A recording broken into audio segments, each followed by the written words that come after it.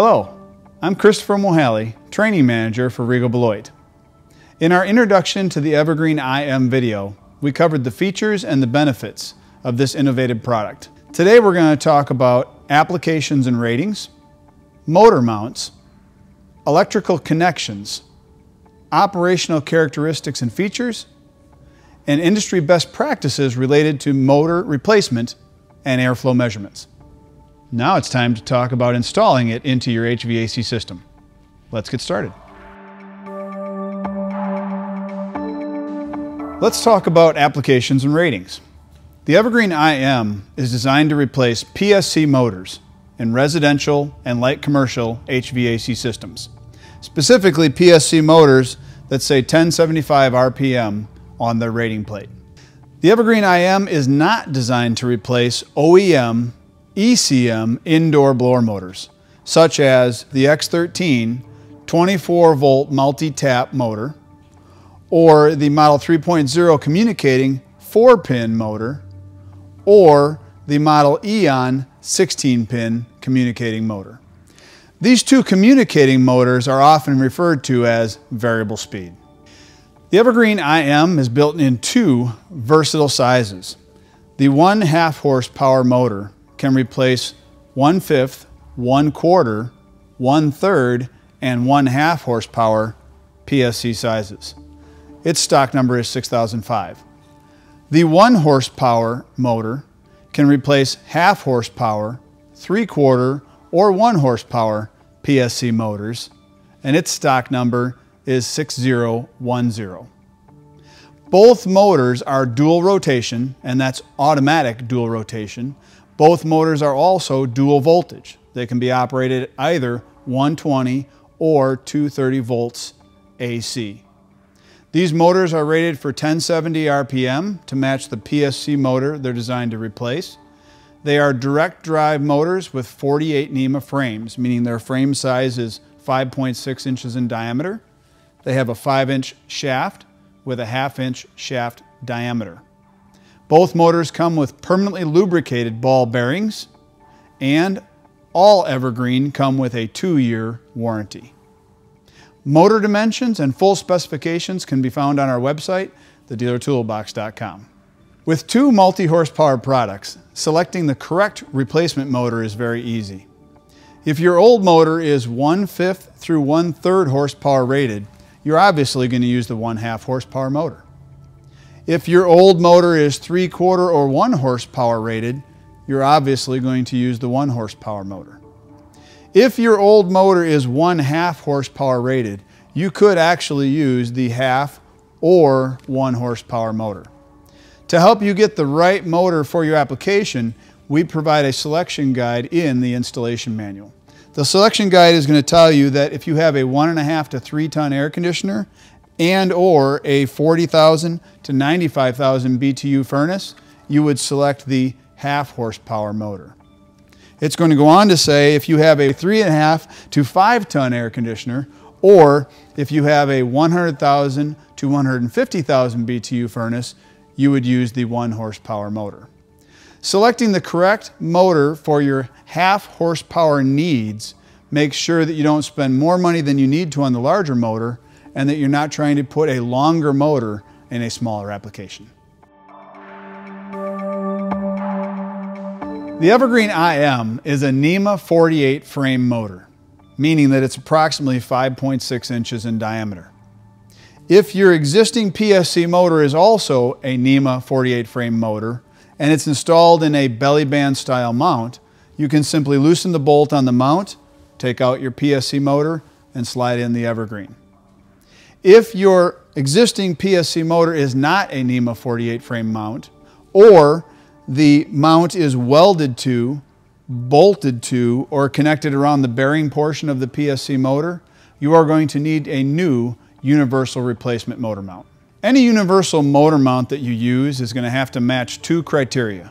One, it's obviously going to need to fit a NEMA 48 frame motor, so it's going to have to be a 5.6 inch diameter frame. The easiest way to make sure you have the right bolt hole diameter is to simply measure the air opening around the motor. That's the dimension between here and here. Take that dimension and add an inch to it and you have the minimum distance or minimum diameter of the bolt circle required for your motor mount to reach the sheet metal of your blower section. As a side note, we do not recommend using the torsion flex mount on the one horsepower motor. However, it is okay to use it on the half horsepower product. After you've selected the motor mount for your job, it's time to install it on the motor. It's unlikely that the bolt holes of the new motor mount are going to match the bolt hole locations of the existing motor mount. If In that case, you're going to have to drill new holes and I strongly recommend not using just a sheet metal screw, but using an actual bolt and a nut, which our motor kits do provide. This makes sure that we get a secure long-term installation. We want to make sure to locate the motor mount between the vent holes in the shell and these dimples. These dimples locate the bottom of the stator stack, meaning that below the dimples is the open area in the motor shell where the electronics portion of the motor exists. So we want to keep the motor mount between the dimples and the motor vents, of course not covering the motor vents. Last but not least, to orient the motor in the motor mount, we want to imagine how that motor is going to sit when it exists in the HVAC system. We want it to exist so that the connectors are facing down or between the 4 and 8 o'clock position. That way, if any water gets on the motor shell or the motor harness, it rolls off instead of running into the electrical connections. And last but not least, our industry best practices tell us to center the blower wheel in the housing and then tighten the hub bolt on the flat part of the shaft. Let's talk about electrical connections. But before we begin, let's look at what comes in the box with the Evergreen IM. Of course, the installation manual. Being a dual voltage motor, we have jumper pins, one for 115 volt and one for 208, 230 volt applications. What I would consider a required sticker or label to install in the HVAC system, some optional wires and connectors, depending on how you are going to configure the system, and the main harness that connects the Evergreen IM to the HVAC system. Let's begin by connecting the main harness to the motor. Before we connect the harness to the motor, it's a good idea to select the voltage jumper that we're going to be using. The white jumper is used for 115 volt systems. The yellow jumper is used for 208, 230 volt systems. They are also stamped on the jumper so that you don't need to reference the manual for this information. I'm going to select the 115 volt jumper. Again, I strongly recommend you put the jumper in the motor first and then connect the two harness plugs. After I get the two harness plugs into the Evergreen IM motor, you now see why it's a good idea to put that voltage jumper in first. Now we have 42 inches worth of leads to connect the Evergreen IM to our HVAC system. At the other end of the Evergreen IM harness, we basically have three mini harnesses. Each mini harness is taped and flagged with information telling you what to do with these wires. So let's overview that real quick. The high voltage power harness will connect to the incoming power supply to the HVAC system. The high voltage signal harness will connect to the fan relays that used to turn on the PSC motor speed taps. And the low voltage signal harness will connect to the thermostat connections to select the speeds for each mode of operation. Let's see how that works on the HVAC system. So this could be any HVAC system with a PSC motor. It could be heating only, cooling only, heating and cooling. This one happens to be a heating and cooling system, and it happens to have a circuit board. You can connect the Evergreen IM to systems that do not have circuit boards and simply have fan relays, but we're going to go through it here on the circuit board. I'm going to start with the high voltage power connections. That's the black and white connections. And you'll notice that the white wire already has a female quarter inch spade terminal on it, and the black L1 wire already has a quarter inch spade terminal on it with a male piggyback. So here we have our PSC motor connected to the board. We're going to disconnect the neutral wire from the PSC motor to the board. And we're going to take the neutral wire from the Evergreen IM harness and put it right back on the same terminal. Now we need the line 1 voltage input to that board. That terminal is not just going to be empty and waiting for you to put a wire on. So we're going to look for the line voltage wire coming from the main disconnect to the board or the line voltage wire coming from the door switch to the board. We're going to disconnect that terminal. We're going to put it on the back of the piggyback and we're going to connect that right back where it was. Oh, right back where it was. There we go. So if you notice, those two wires had quarter inch spade terminals on them. The line one wire had the piggyback on. So that really makes this whole process about 30 seconds and we're one third of the way through the installation of our wiring. The only change we would make if this were a 230 volt air handler package system or furnace is our white wire instead of connecting to a neutral tap would actually be connecting to the L2 line of the HVAC system power supply. Next we're going to talk about connecting the high voltage signal wires to the HVAC system. You'll notice that they come prepared with a quarter inch female spade terminal on both wires and quarter inch Y adapters. This is going to make connecting these two wires to your HVAC system quick and easy. So the first thing we're going to do is go to the HVAC control board, find our speeds from our PSC motor, and disconnect them from the heat taps, the cool taps, and the continuous fan tap, if applicable. Next, we need to determine do we need both of these wires or just one of them?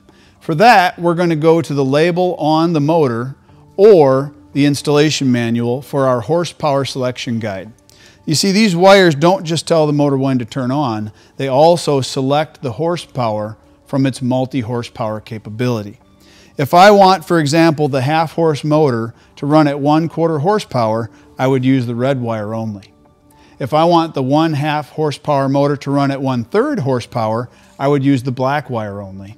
And if I want that one half horsepower motor to run at a full one half horsepower, I would connect both the red and the black wires to those speed taps. So let's say we're going to use this one half horsepower motor as a one half horsepower motor. So the first thing we're going to do is get our jumper wire out of our box of parts and we're going to put it to one wire on the quarter inch Y connector, jumper that over to the other quarter inch Y connector, and then I'm simply going to connect these two terminals to the heat and cool taps on my system control board.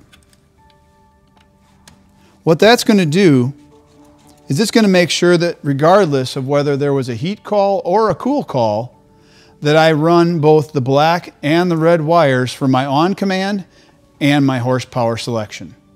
So if you haven't noticed, we've already disconnected all of the wires off of our PSC motor, and we've already connected two of the three harnesses. The last harness is what we call the low voltage signal harness.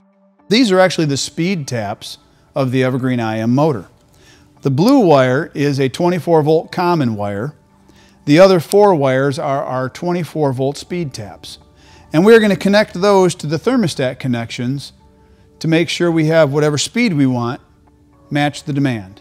So for example, the blue wire would go to our thermostat common. If I wanted low speed for heat, I would connect the white wire to the heat terminal, which is usually labeled W. And if I wanted high speed for cool, I would connect this yellow wire to the cooling wire, which is usually labeled Y. When I'm all done, I would then tape off my other two unused speeds. So before we wrap up the electrical connections, let's talk about a couple of what-if scenarios. Because every system you work on isn't going to be a heating and cooling only system with just heat and cool taps on the control board. So what if there is a continuous fan tap on the control board next to heat and cool? We would need to connect that continuous fan terminal together with the heat and cool terminals so that when the customer turns on the continuous fan setting on their thermostat, they turn on the motor and select the right horsepower. If you remember in the box, we have extra jumper wires and extra quarter inch terminal Y connectors. So these extra terminals and wires are going to allow us to jumper in that continuous fan tap if needed. So another what if that you might find is a two-stage furnace or a two-stage air conditioner. In that application, you're going to have either a low heat and a high heat or a low cool and a high cool terminal on your control board. So, for example, if you had a two-stage furnace with a single-stage air conditioner, you would have a low heat, a high heat, and a cool terminal. Again, back to the extra parts, we would need to jumper low heat, high heat, and cool all together using the parts that came with the Evergreen IM. And so far, hopefully you've noticed, this would be pretty easy to do with all of the parts we've given you to connect these wires to the HVAC system. In that multi-stage scenario that we just talked about, it was also going to be necessary to connect a speed to both low heat and high heat or both low cool and high cool, which is fine because you have four speeds to choose from. Something I didn't talk about earlier, if you notice our speed connections are bare wire stripped.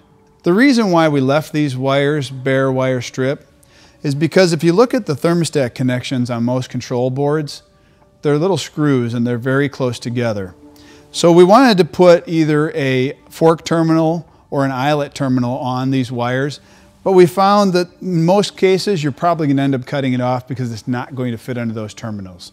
So we left these wires bare wire strip, and I actually recommend from my installations that I have done in my own home or for my family that you leave the wires that are already under those terminals there, come back about six inches, and wire nut these wires into the wire that you want it to be connected to.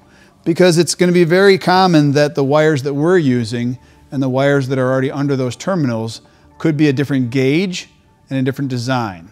Our wires are stranded and the wires that are under those terminals are quite often solid core. Mixing these wires under one terminal could cause one wire to be looser than the other and cause a future failure for the HVAC system. The last scenario would be simply to talk about what if you don't need the one half horsepower motor to run at one half horse. You would then either use your red wire for the one quarter horse application or your black wire for the one third horsepower application. Let's say I needed to use the red wire only because it either one, right? I would take the jumper, connect it to the red wire, and put those two wires on my heat and cool terminals. Could have just as easily done that with the black wire. So what this means is it's probably going to take just as long to connect these connections to the HVAC system as it is to open up the manual and look at the chart and determine which horsepower you need and how you're going to configure them with a jumper wire. Let's talk about operational characteristics and features. If you remember, we mentioned that the Evergreen IM is a dual rotation motor.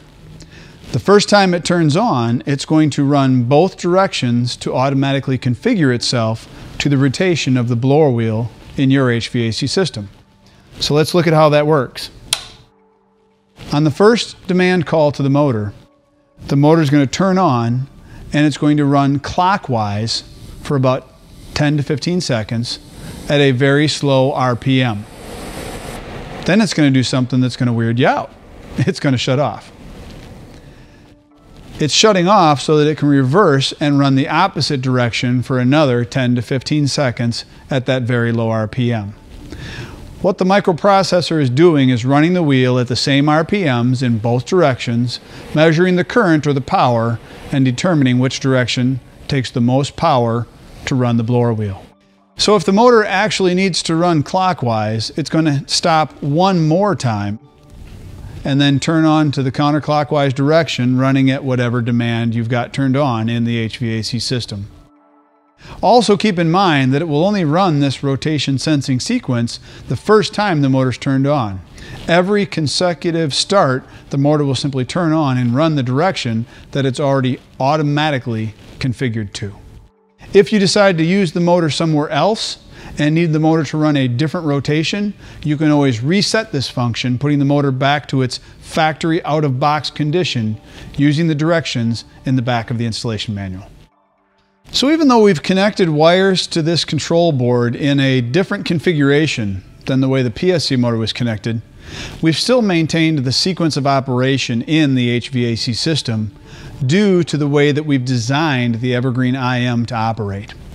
So when the thermostat sends a demand call down to the control board, it is going to turn on one of the speed taps. However, the speed taps are not an on command to the microprocessor. If you remember, we talked about the on command comes from those high voltage signal inputs that are connected to the fan relays. So the way any demand call will go is the thermostat will send a demand down to the control board. That will energize a speed tap, but the motor won't turn on until one of the fan relays is energized. So if the control board or separate components have on and off delays or even selectable or adjustable on and off delays, all of these delays and all of the sequence of operation in the system, the way the manufacturer designed it, are still applicable to the way we've connected the Evergreen IM. The continuous fan operation is one more thing I like to talk about because, well, really it's one of the biggest features of the Evergreen IM. If you remember when we talked about connecting the thermostat wires to the speed taps of the Evergreen motor, we did not talk about connecting any speed taps from the motor to the G terminal on the board. The G terminal is what's energized when a thermostat is set to the continuous fan mode operation. The reason we don't suggest connecting any speed taps to G is that the horsepower wires, or what we call the high voltage signal wires, when they're energized alone, the motor knows to turn on. It just doesn't have a speed energized to associate with that on command. So what we've done with the Evergreen IM is we've programmed it that if only the horsepower or the high voltage signal wires are energized and all of the speed taps are turned off, it automatically runs at 600 RPM, super low, super efficient, super quiet continuous fan speed. So you give the customer the quietest and most efficient continuous fan without connecting any wires at all. However, if you wanted to give your customer more continuous air ventilation, you could connect any motor speed that's not being used to the G terminal, which is probably going to be favorable to the bigger homes or customers that count on their indoor air quality products 24 hours a day. Now that we've completed all of our wiring connections and you understand completely how the Evergreen IM operates, the last step in the process is to run our HVAC system in all modes of operation, measure our airflow, and adjust the speeds and or horsepower that we've set up for the proper operation of our HVAC system which is an industry best practice after replacing any motor, whether it be universal or OEM. Last but not least, I highly recommend that you take the sticker or decal out of the bag and put it on the HVAC system next to the schematic. So it identifies for the next contractor the speeds, the horsepower, and the wiring for the Evergreen IM that's been connected in their HVAC system. And it also gives them the 800 technical support number if needed.